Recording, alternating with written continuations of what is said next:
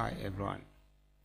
In this tutorial, I will show you how to implement a drag and drop feature in your page. That is, you upload file by dragging. I will start by creating a simple project and our name is drag and drop.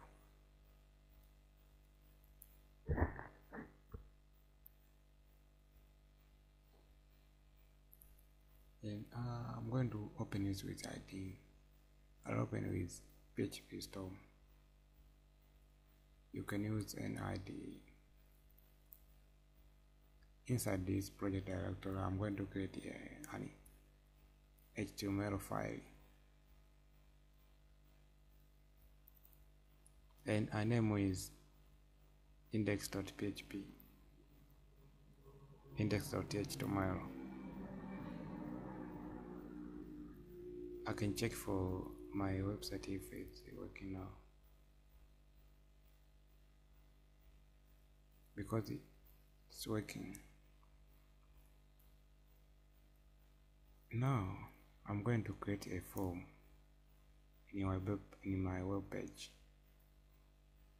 And in this form I put the action in this hash and I will define an type format by the form that I put a file input type.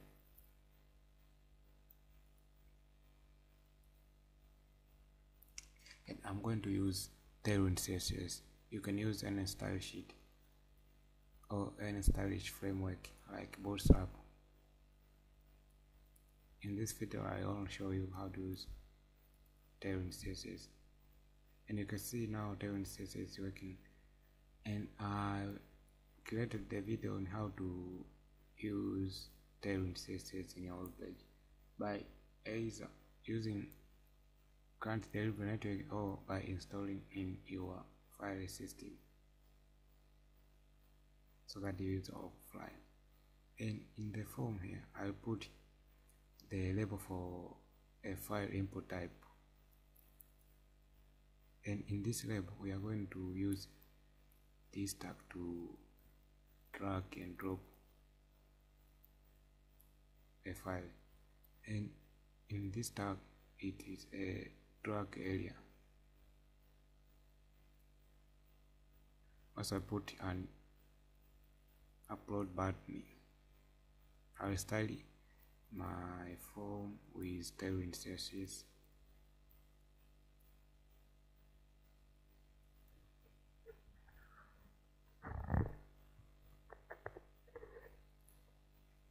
This Tailwind CSS is best and simple to use. You can learn from my videos.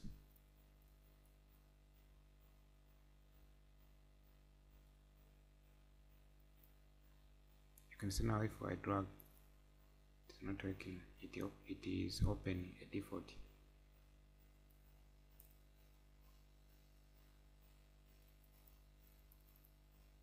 and the input type I hide them because we're not going to use it.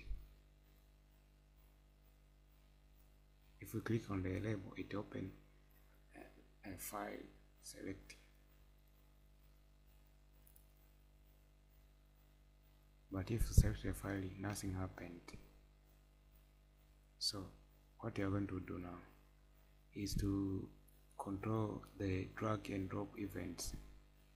And how we are going to control is by javascript I'll insert here a javascript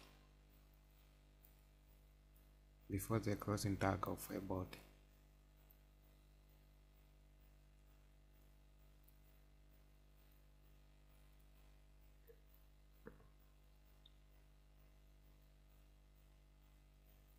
and we are going to control the drag events in the label tag and in this label element we control three events.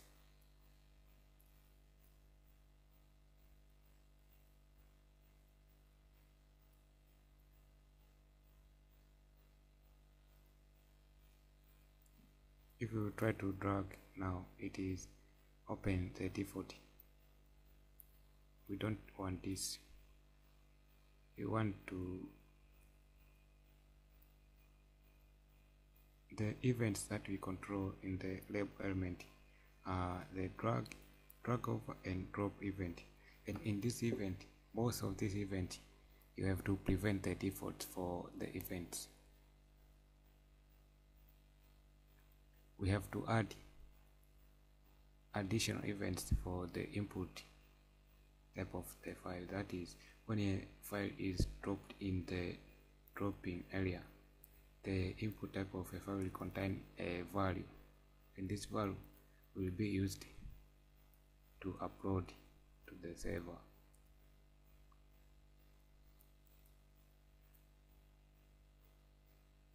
And you can code whatever you want. It's up to you. In both of these events you have to prevent defaults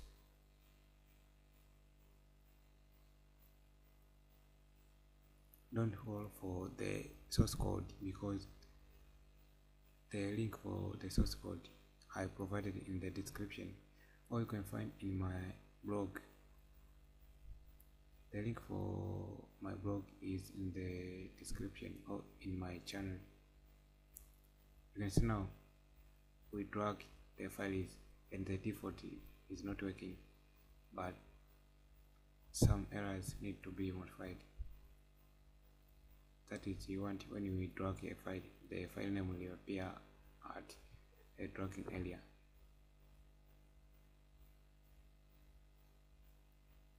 And I remove this alert. And there is an error before this alert. That's why we don't see an alert. I put an alert in order to check if the code have been run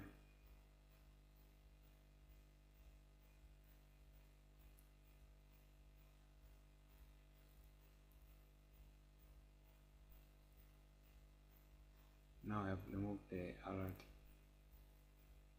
you can see now if we drag an alert appear here. We have to remove an alert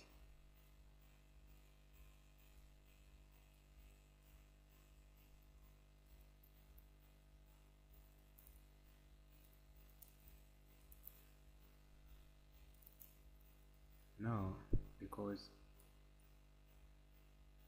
it is working now we have to add some features like an icon in the dragging area. This is will be an upload icon.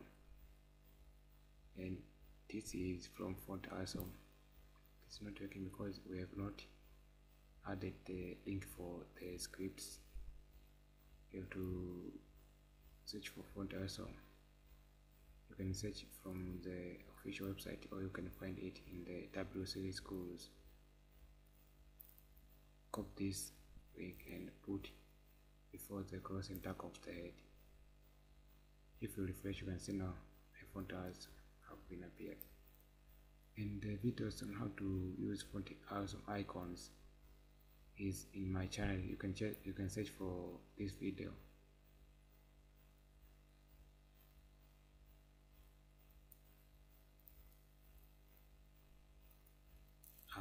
styling my icon to appear at the center. You can use an icon as you want. Thanks for watching my friends. Don't forget